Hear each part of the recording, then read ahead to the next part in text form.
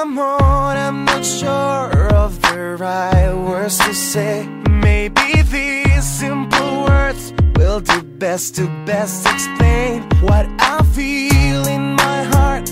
What I feel more each day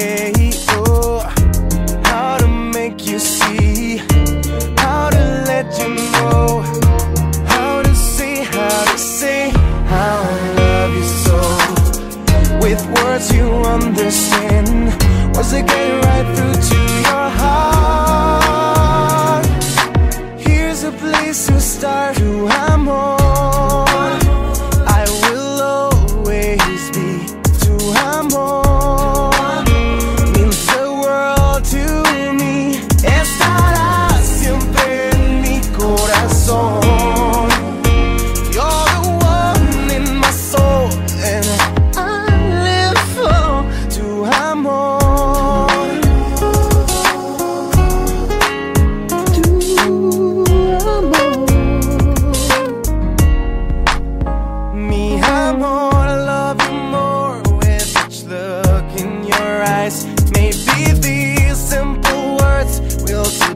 to best describe what I feel in my heart, what I feel for all time.